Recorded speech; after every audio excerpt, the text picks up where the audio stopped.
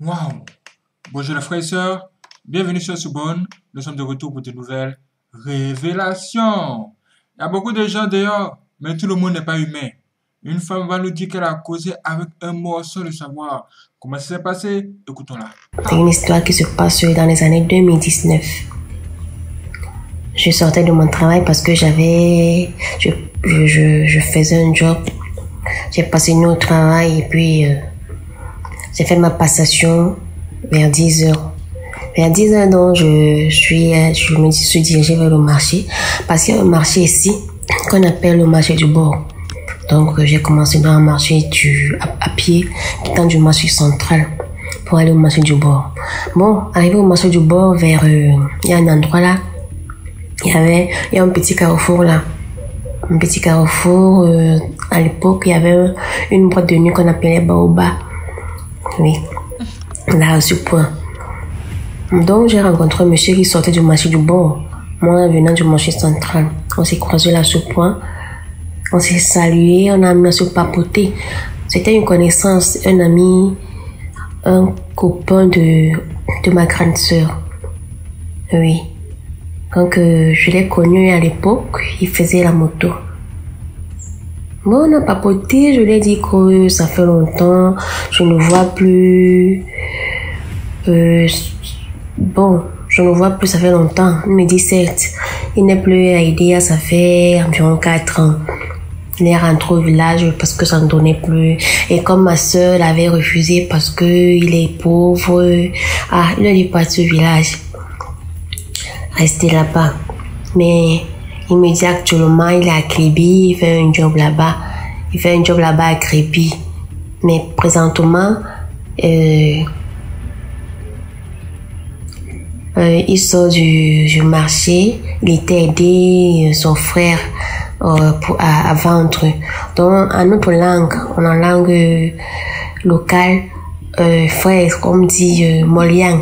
Molian, bon, c'est pas défini. C'était pas défini. Il n'a pas dit c'était euh, l'homme ou la femme.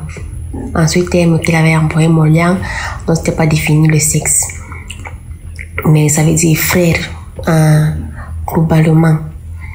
C'était aider mon frère à vendre. Maintenant, je suis en train de rentrer. Je suis en train de rentrer comme ça. Ok, jour, on s'est séparés. Moi, sur moi, j'ai continué ma route vers le marché. Lui aussi, il a continué sa route là où il. C'était un lundi, donc. Mercredi, je quitte de chez moi. Je vais chez ma grande sœur. Parce que moi, j'étais au quartier euh, Kodok.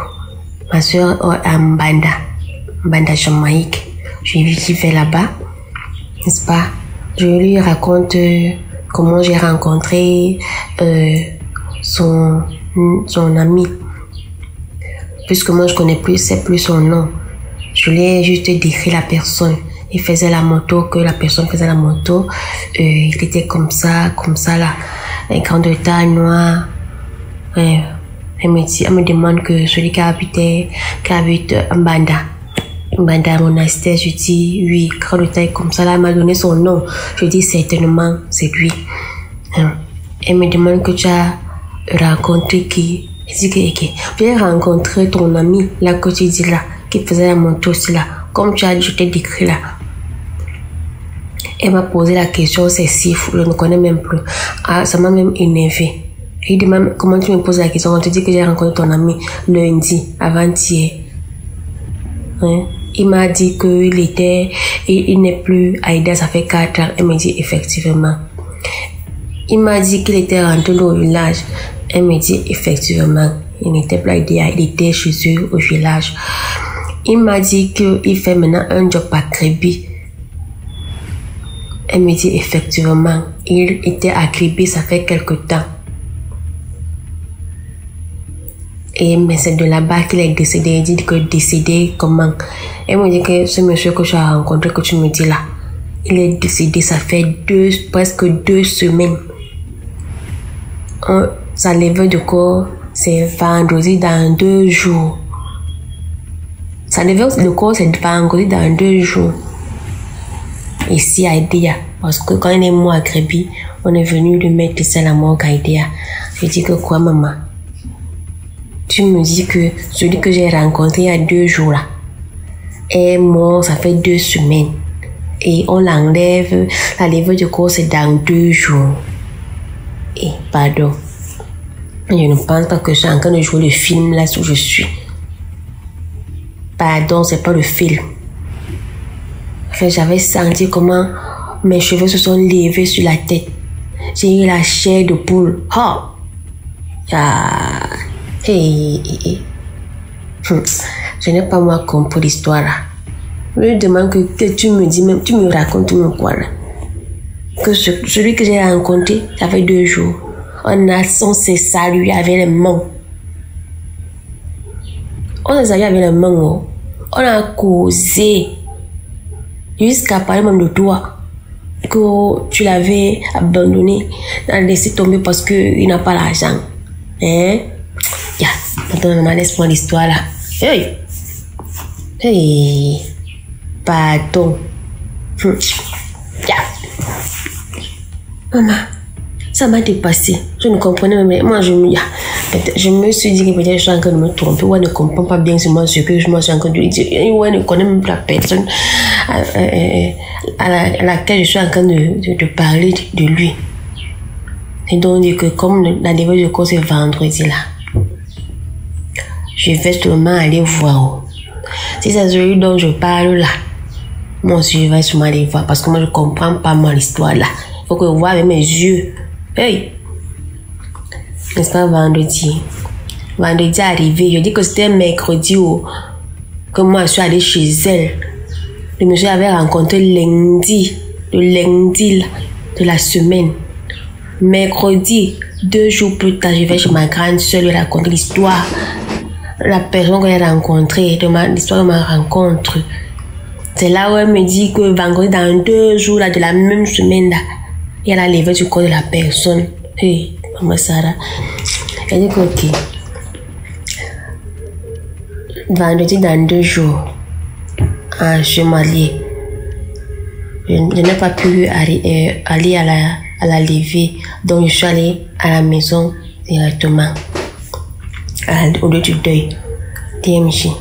C'est la photo. Je n'ai même plus voulu aller regarder le corps. C'est la photo, la personne moi je parlais d'elle. C'était elle.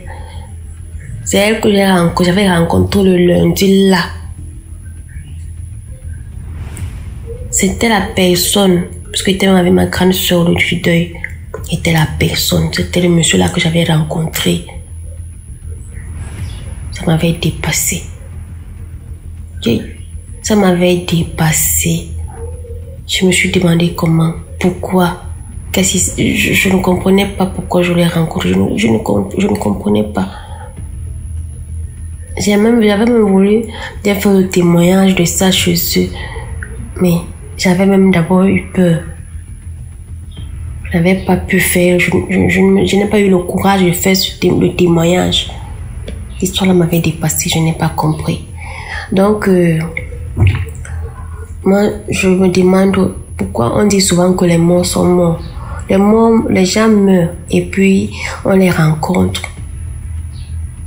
Les gens meurent et ils se baladent partout. Et pourquoi on ne peut pas aussi rencontrer une de ses proches? Et peut-être tu as perdu ton fils, tu as perdu un membre de ta famille, que toi-même tu le rencontres un jour. Donc euh, c'était mon histoire. Et je pense que la vie, on ne peut même pas la comprendre aussi. Waouh! Vous avez entendu tout ça? Dites-moi ce que vous en pensez. Bien, nous allons écouter encore le témoignage, c'est parti. Euh, je voulais raconter une histoire qui m'est arrivée, moi, enfant, au Cameroun. Et euh, voilà l'histoire, en fait. Je suis née à Kribi. Mes parents étaient fonctionnaires, ils étaient en fonction à Kribi. Et il s'avère que lorsque j'étais petite, je devais avoir un an à peu près. Euh, les parents travaillaient et il y avait une nounou qui, qui me gardait à la maison. Et un problème est survenu. En fait, euh, la nounou ne voulait pas en parler à mes parents parce qu'elle avait peur d'être renvoyée. Donc, il paraît que l'après-midi, on me mettait dans le lit pour faire la sieste et les pêcheurs me ramenaient en disant, enfin, il, paraît que le premier jour, ils m'ont ramené en disant qu'on a trouvé cet enfant au milieu de l'océan. Et je tiens quand même à préciser qu'on ne vivait pas très loin de l'océan. Enfin, on n'était pas proches, les maisons ne sont pas proches, mais on avait l'océan pas loin de la maison. Et ils disaient qu'ils ont trouvé cet enfant dans l'océan. Et une voisine, c'est comme ça qu'on m'a reconnu, on m'a ramené à la maison. Et ça s'est passé pendant une semaine d'affilée. Et pendant une semaine, tous les jours, on me ramenait en disant que les pêcheurs me ramenaient quand ils rentraient le soir, qu'ils m'ont retrouvé au milieu de l'océan. Finalement, la voisine qui voit le manège finit par interpeller ma mère, qui dit à ma mère, il y a un problème chez vous. Voilà ce qui se passe chez vous depuis une semaine. Et j'ai demandé, et la femme de, de, la nounou ne veut pas, ne veut pas vous en parler. Elle a peur parce qu'elle se dit que, euh, elle se disait que c'est elle qui surveillait pas euh, la petite. Donc du coup, elle avait peur de perdre son travail. Et, mais je tiens quand même à vous prévenir que ça se passe chez vous. Ma mère rentre très courroucée après la nounou et lui demande mais qu'est-ce que qu'est-ce que j'apprends? Est-ce que c'est vrai? Elle dit oui mais madame je vous jure que ma mère dit y a pas de souci. On prend ma mère et ma mère et mon père décident de ce jour de rester à la maison à l'heure où on me met à la sieste. Euh, j'étais dans la chambre, euh, eux ils étaient restés dans le dans le séjour et tout, ils sont passés toute l'après-midi là et tout et de temps en temps, ma mère repartait et vérifiait si j'étais dans la chambre, elle me voyait coucher elle revenait. Et puis on entend toc toc toc les pêcheurs qui reviennent et qui me ramènent dans les bras en disant qu'ils m'ont trouvé au milieu de l'océan. Ça c'est une histoire qui se passe euh, il, y a, il, y a, des années aujourd'hui. J'ai plus de 45 ans aujourd'hui. Et euh, mes parents alors mon père, il rentre dans une colère, il comprend que là, il y a quelque chose de pas normal qui se passe. Il me prend, il m'amène chez un patriarche de Kribi, un grand notable de Kribi, un patriarche, et il va lui dire, moi je suis venu ici à Kribi pour le travail. Je ne suis pas venu, je n'ai fait aucune alliance avec des gens de Kribi et même les esprits des, des eaux. Alors, votre manège où vous amenez mon vous venez chercher mon enfant toutes les après-midi, que ça s'arrête là. Parce que si quelque chose arrive à mon enfant, vous aurez affaire à moi. Entre-temps, nous-mêmes, moi, mes parents, moi je suis, mes parents sont là, donc on est un peu, on est aussi de l'eau. Et le patriarche, il m'a pris, machin, il paraît qu'il a fait des trucs, ça je sais pas trop ce qu'il a fait. Il a dit à mon père, ça va, il y aura pas de problème, il y aura plus de problème. Effectivement, tout s'est arrêté, tout s'est arrêté et quelques, mes parents ont dû faire encore un an ou deux, un an à peu près, un an à peu près, un ou deux ans. Et mon papa, il a été affecté ailleurs. Et on est parti. J'ai grandi avec cette histoire et avec cette peur bleue.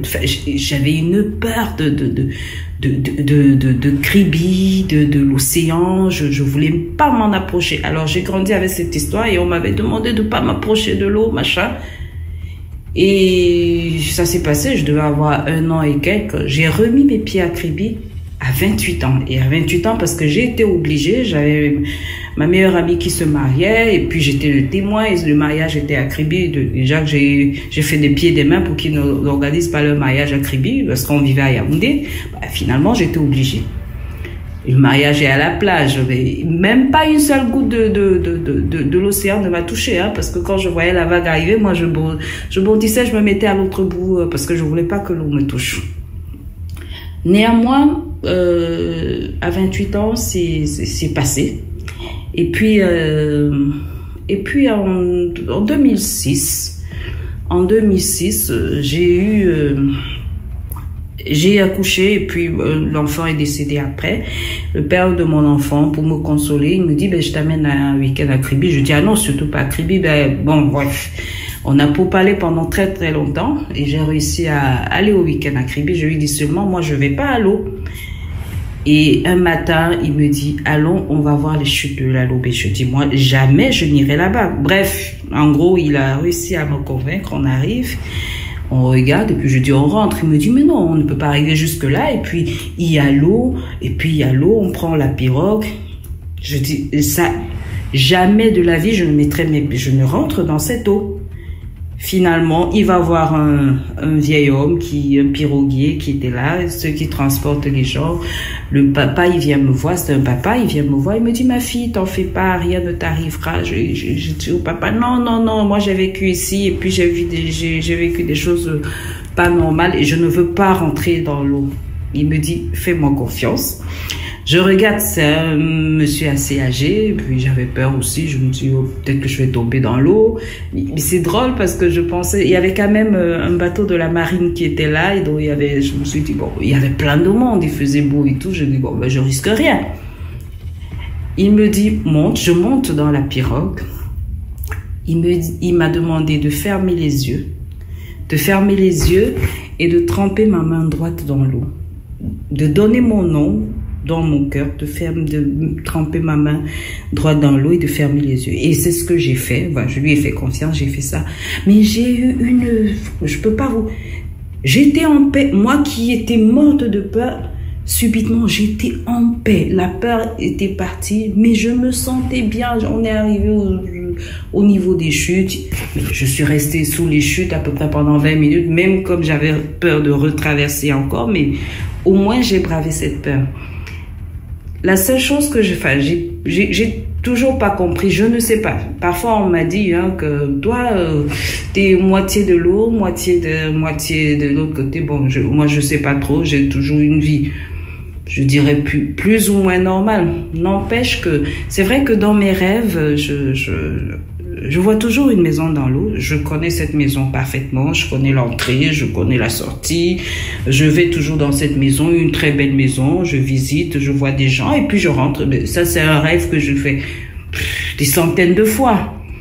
Mais euh, je sais pas trop, je sais pas trop et j'ai jamais voulu euh, j'ai jamais voulu savoir parce que parfois on m'a dit tu sais tu peux si tu veux tu peux savoir ce qui s'est vraiment passé. J'ai dit non, je veux pas. Jusqu'aujourd'hui, j'ai vécu comme ça et ça va ça va pour moi et je ne veux pas avoir affaire à eux et je ne veux pas savoir ce qui s'est passé non plus. En gros, euh, voilà cette histoire, voilà ce que j'ai vécu. Et je tenais aussi à vous... Cette, cette émission édifie tellement que je voudrais vous raconter une histoire qui m'était arrivée euh, au Cameroun il y a plusieurs années de cela. Un jour, j'attendais le taxi, je sais plus, les routes devaient être barrées, il y avait un problème et il n'y avait pas de taxi. Et un taxi arrive il y avait un vieil homme blanc. Alors quand je vous dis vieux, mais il était vieux, vieux, il était vieux, la peau toute froissée, des sourcils, les cils, les sourcils, tout était blanc, vraiment vieux. Le taxi arrive, il me demande où je vais. Je leur dis où je et puis je dis je vais. Il dit, le taxi me dit, on est en course, mais le monsieur, il a dit de vous prendre, euh, de, de, de vous accompagner. Je dis, ah ben merci, je sais plus où j'allais. J'allais à l'Omnisport, je pense. Et ils m'ont pris et pendant le, pendant le trajet, il, il, était tellement vieux qu'il y avait une odeur. Je, sentais une odeur pas très agréable, mais je disais, mais, et je lui ai posé la question, mais qu'est-ce que vous faites au Cameroun? Et Il me dit qu'il est venu, euh, il est venu ouvrir euh, un garage. Quand je dis vieux, j'avais l'impression qu'il avait au, même 100 ans, ce, ce, monsieur, il avait au moins 100, enfin, pour moi, il avait au moins 100 ans, quoi. Et moi, j'étais assise derrière le monsieur, juste derrière le, le, blanc. Le chauffeur, il était devant avec lui. Et entre les deux sièges, il a fait tomber un sac. Je sais pas, vous savez, les sacs que les papas portent souvent, les grands sacs avec. Mais le sac, il était ouvert. Il était plein d'argent. Des liasses et des liasses des liasses, des pieds tout neufs, tout, qui sentaient l'argent là, tout. Vous savez, quand ça sent l'argent tout frais là. Et il y avait du CFA, de l'euro, euh, des dollars, mais des, un sac plein qui était entre les deux, mais qui tombait carrément sur mes, qui était carrément, qui est venu tomber sur mes, sur mes pieds. Et puis je dis au monsieur, je dis je lui dis ben monsieur, vous avez votre sac euh, qui est tombé, il est plein d'argent, continuez comme ça, vous allez vous faire voler. Et le taximan me demande, le taximan me demande à Newondo. Moi, j'ai grandi dans le centre et le sud, donc je comprends. Le taximan me demande à Newondo, euh, vous êtes d'où? Bah, Je réponds à Newondo, je dis je suis Douala, mais et je suis Douala. Et il me demande, ça va pas dans votre tête? Vous voyez un sac d'argent plein comme ça, c'est la chance de votre vie. Et vous vous permettez de lui remettre son argent comme ça, vous ne pouvez pas prendre une petite partie et puis euh, puis je regarde, je lui dis mais non, moi je je je prends pas des choses qui ne m'appartiennent pas. Moi je prends pas l'argent qui ne m'appartient pas et puis regarde le vieil homme, on a continué à parler à Néwondo, je dis regarde un vieil homme comme ça. Tu vas voler, moi déjà moi je ne prends pas des choses là, quelque chose qui ne m'appartient pas, qui plus est encore plus à un vieil homme comme ça. Ça ne se fait pas. Bon, moi, après, moi, je suis arrivée à destination, je suis partie. C'est en écoutant les histoires chez vous que je me dis, c'était pas normal. Je pense que euh, c'était un piège, que c'était un piège pour eux. De, si tu prends cet argent, après, peut-être que tu le vois apparaître chez toi la nuit quand tu dors. Mais bon, après, euh, je sais pas trop. Après, je sais pas trop. Mais ça m'a quand même laissé parce qu'il avait, il avait une mauvaise, une odeur bizarre quand même ce, ce monsieur. Bon, après, on sait que les personnes âgées, certaines personnes âgées aussi ont des odeurs euh, bizarres, quoi. Et en gros, voilà toute euh, la petite histoire que j'avais à raconter aujourd'hui. Wow. Et merci, merci. C'est un truc hors du commun. Vous avez entendu ça. Que ferez-vous à sa place? J'aimerais voir votre réaction. Bien, écoutons encore le témoignage hors du commun. Cette histoire que je vais vous raconter, elle remonte de plusieurs années. Ça fait déjà 13 ans que je l'ai vécu. Je l'ai vécu particulièrement moi-même au moment où je tente de passer mon bac.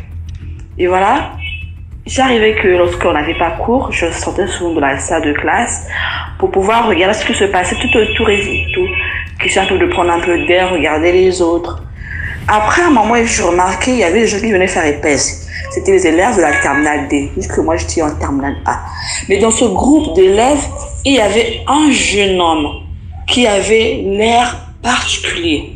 En le voyant, en fait, j'avais la, en fait, je, le voyais en forme de, de taureau. Et quand il court, je dis, ah, le garçon ressemble à un animal, pourquoi et tout? J'appelle ma collègue, je dis, Gracia, Gracia, viens.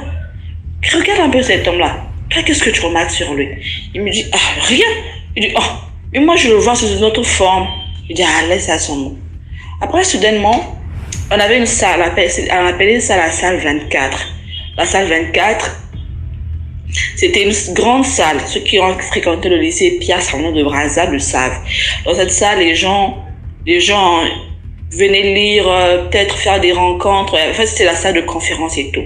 Et moi, je partais dans cette salle des fois quand j'avais rien à faire pour aller lire, puisque c'était un peu calme. Et le garçon était aussi venu pour venir lire. Après, on commence à se dire bonjour, bonjour. Mais il y avait un truc qui se passait entre lui et moi. Quand j'étais de loin, j'avais rien ressenti. Mais dès que je me rapprochais de lui, la panique. Je lui dis, mais, qu'est-ce qu'il y a? Il dit, oh, mais quoi ce mot? Il dit, je sais pas.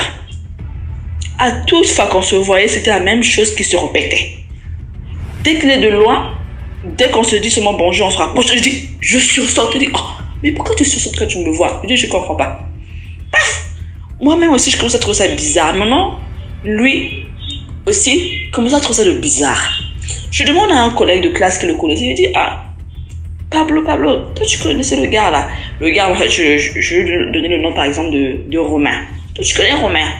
Oh, là, celui qui ressemble à un, criminel. Il dit, ah bon. Bon, j'ai juste barré parce que je suis devenue un peu amoureuse du gars et tout.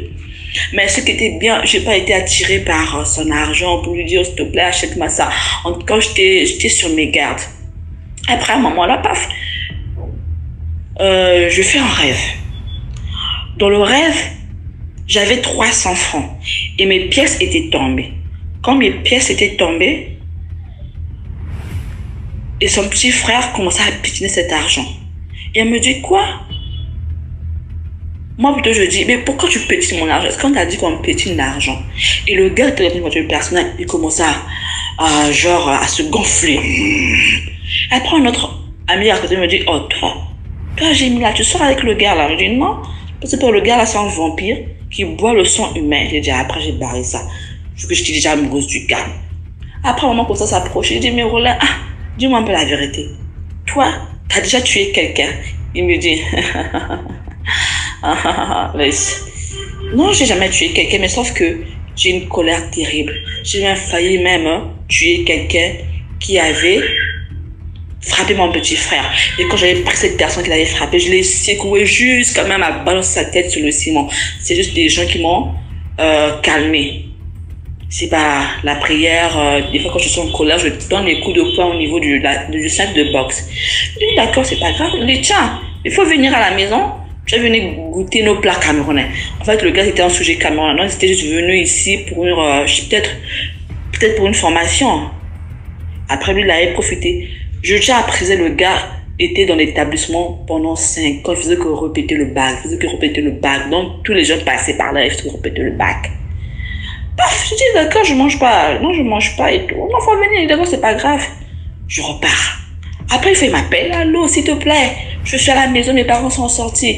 Viens maintenant, viens maintenant, viens maintenant, je te dis. Viens maintenant. Tu vas manger nos plats. Je dis, oh, viens maintenant commencer. Dis-moi, le gars, c'est même mon copain, même pas quelqu'un, on se connaît comme ça, juste à l'école. Et puis, il m'a dit, tu venais manger chez lui. Il dit, je veux pas partir. Oh non, viens. Si tu viens pas aujourd'hui, sache que toi, on n'aura plus, oh, je voudrais plus t'inviter chez moi. Je d'accord, c'est pas grave. Paf. Et le gars commence à remarquer un truc chez moi. Une autre fois, il me dit, oh, s'il te plaît, viens. Vu il y avait un moment où il y avait la grève, les gens ne partaient pas à l'école. Il me dit, viens seulement à l'école, il va se voir. Je dis, j'ai pas le déplacement. Non, viens seulement. Ici, il y a personne à l'école. Moi, je te paye le déplacement. Je dis, je veux pas venir. Et quand j'avais dit ça, il me fait un message. Dès aujourd'hui, ne me dis plus bonjour, évite-moi, ne m'écris plus, ne m'appelle pas. Parce que si tu me vois, faut fuir. C'est pour ton propre bien et le mien. Il dit quoi? Et je suis choqué. Quand le gars me voit, de loin, il avait rien, il me souriait souvent. Mais tellement que, après, il me dit, il me dit, rapproche pas de moi, vraiment, pardon pour ce que je t'avais dit la fois dernière, euh, c'était juste le coup de la colère. Il dit, c'est pas grave, je te pardonne. Il m'appelle. Oh, tu sais quoi, le bac qui s'est passé, là, j'ai pas pu les sujets, euh, j'ai pas peut-être pu avoir les sujets du, du bac blanc de la série C. Tu peux me les avoir s'il te plaît? Moi, je dis d'accord, bête que j'étais naïve. Et pourtant, il avait la possibilité d'avoir le, les sujets du bac blanc euh, de la série C. Du moment qu'il était quelqu'un qui avait fait la série D, c'était juste à côté. Vu que moi, je faisais mon bac A. Vu que j'étais amoureuse du gars, qu'est-ce que je veux faire? Je vais partir à la recherche des sujets. J'ai fait la photocopie et tout, je vais. Mais ce qui est bon dans, dans cette histoire, Dieu m'a vraiment préservé. Dès que j'arrive dans la salle de classe, je dis, je vais rentrer directement. Je l'appelle, il dit, Roland, je suis là, sors plutôt romain, je suis la sœur. Il me dit, oh d'accord. Je dis, moi, je rentre pas dans cette salle de classe. J'ai DMG, comme je te dis. J'ai mis du temps, plus de 30 minutes à attendre. C'est comme si Dieu qui avait, seulement mis mes pieds là pour les faire stopper afin que je ne rentre pas dans cette salle. J'ai mis mes pieds là debout, je faisais qu'attendre, je faisais qu'attendre. Après, j'ai vu un ami sortir, je lui ai dit, s'il te plaît, est-ce que tu peux m'appeler Roland? Je suis là depuis longtemps. Le gars rappelle Romain, il dit, Romain, viens. Je, je te dis pas, quand il est sorti, j'ai fait comme une folle. J'ai crié, ma mère, ma mère, qu'est-ce que j'ai Une amie m'a attrapé. Mais quoi? J'ai dit, mais là, qu'est-ce que tu as? Qu'est-ce que tu as? Il dit, je sais pas, je comprends pas. Et le gars, au lieu de s'arrêter, qu'est-ce qu'il va faire? Il passe outre comme s'il ne voyait pas. Il était là dehors. Moi, je suis restée tranquille. Mon ami m'a dit, mais qu'est-ce que tu as fait? Je ne comprends pas. Dès sorti seulement, en tout cas, j'ai eu une panique. C'est comme si je m'affolais. Je suis rentrée, je suis partie. J'ai remis les trucs. Il m'a dit merci, je suis partie. Il m'a appelé, ah, comment tu vas, ça va et tout. Après, il commence à m'appeler, oh, s'il te plaît, dis-moi ce que tu sens quand tu me vois. Quelle est cette impression que tu as dit, ah, moi, quand je suis de là, quand je te vois, il n'y a rien. Mais dès qu'on s'approche de moi, j'ai une impression bizarre sur moi. Oh, franchement, on doit se voir, on doit se voir, on doit se voir, on doit se voir. Je veux pas. Vu que c'était le même établissement, une fois, il me voit de loin. Il faisait peut-être le plus meilleur des cours, hein, que les décisions de la série D peut-être ne peuvent pas fuir. Il a quitté la salle de classe, il a laissé ses cours, il m'a suivi. Il me dit, s'il te plaît, j'aime là, j'aime là, j'ai à te dire, pardon, arrête-toi, arrête-toi. Je peux te poser une question? Je dis, quoi? Une question? D'accord, vas-y, je, te permets. Oh, toi, toi, tu pries beaucoup. Je dis, quoi? Comment je me demande si je prie beaucoup ou pas? Je dis, je peux pas te répondre à la question. Du coup, quand je m'ai posé cette question-là, j'ai pris mes jambes en mon cou, je suis partie. Dès ce jour-là, je l'ai jamais revu dans, sur mon passage, puisque le bac s'approche aussi. Donc, la morale de cette histoire, c'est surtout donner conseil aux jeunes filles qui sont souvent amoureuses des personnes dans les établissements dont, ils ne connaissent pas les origines. Faites vraiment attention. Je sais pas qu'est-ce qui pourrait peut-être pu m'arriver si j'avais accepter ces, rendez-vous, si j'avais demandé de l'argent, je sais pas. Peut-être qu'il m'aurait peut-être pu sacrifier ou faire quelque chose de mauvais, peut-être prendre mes dents, je sais pas. Vraiment, les filles, faites attention, surtout nous qui partons à l'école, ceux qui font les examens, ceux qui font beaucoup de choses. Des fois, ils sont là pour voler de l'intelligence. Faites très attention. C'est par là que je m'arrête. Vraiment, merci de faire passer mon histoire. Waouh Vous avez entendu ça? C'est hors du commun. Hum. Sur moi je vous donne rendez-vous pour la suite de ce témoignage. Ça va finir. Abonnez-vous. Hum.